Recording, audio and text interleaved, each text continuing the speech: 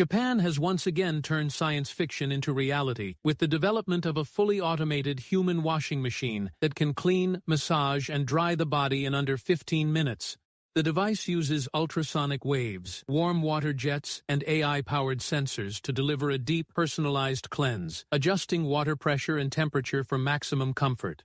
Originally designed for hospitals and elderly care facilities, it is now being explored for home use.